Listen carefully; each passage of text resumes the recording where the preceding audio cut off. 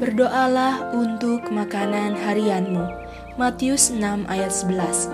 Berikanlah kami pada hari ini makanan kami yang secukupnya. Seperti anak, engkau akan menerima hari demi hari apa yang diperlukan untuk kebutuhan hari itu. Tiap hari engkau harus berdoa, "Berikanlah kami pada hari ini makanan kami yang secukupnya." Janganlah cemas jika keperluan esok tidak cukup. Engkau memperoleh jaminan janjinya. Diamlah di negeri dan berlakulah setia. Ia akan memberikan kepadamu apa yang diinginkan hatimu.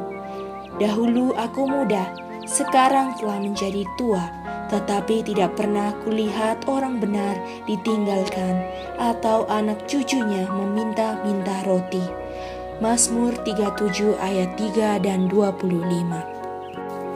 Dia yang meringankan kekhawatiran dan kecemasan ibunya yang janda dan menolongnya untuk mengurus rumah tangga di Nazaret bersimpati dengan setiap ibu dalam pergumulannya untuk menyediakan makanan anak-anaknya. Dia merasa kasihan melihat orang banyak karena mereka lelah dan terlantar. Matius 9 ayat 36 Masih merasa kasihan melihat orang miskin yang menderita. Tangannya diulurkan kepada mereka dengan berkat dan dalam doa yang dia ajarkan kepada murid-muridnya, dia ajarkan kepada kita untuk mengingat orang miskin.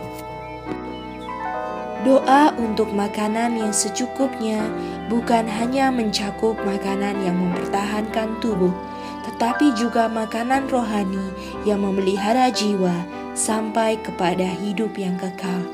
Yesus meminta kita bekerjalah bukan untuk makanan yang dapat binasa, melainkan untuk makanan yang bertahan sampai kepada hidup yang kekal. Yohanes 6 ayat 27 Katanya, Akulah roti hidup yang telah turun dari surga. Jikalau seorang makan dari roti ini, ia akan hidup selama-lamanya. Ayat 51 Juru selamat kita adalah roti hidup dan adalah oleh melihat kasihnya, oleh menerimanya ke dalam jiwa, sehingga kita hidup dari roti yang turun dari surga. Kita menerima Kristus melalui firman-Nya, dan Roh Kudus diberikan untuk membuka firman Allah kepada pengertian kita dan membawa kebenarannya kepada hati kita. Kita harus berdoa hari demi hari, agar apabila kita membaca firman-Nya, Allah akan mengutus rohnya untuk menyatakan kepada kita kebenaran yang akan menguatkan jiwa kita untuk keperluan hari itu.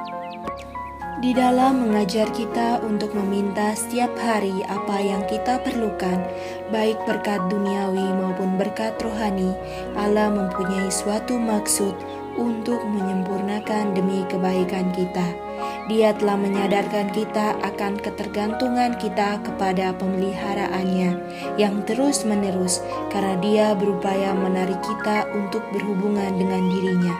Dalam berhubungan ini dengan Kristus melalui doa dan belajar tentang kebenaran-kebenaran besar dan berharap dari firman-Nya kita selaku orang-orang yang lapar akan diberi makan, selaku orang-orang yang haus, kita akan disegarkan pada mata air kehidupan. Khotbah di atas bukit halaman 126 sampai 128.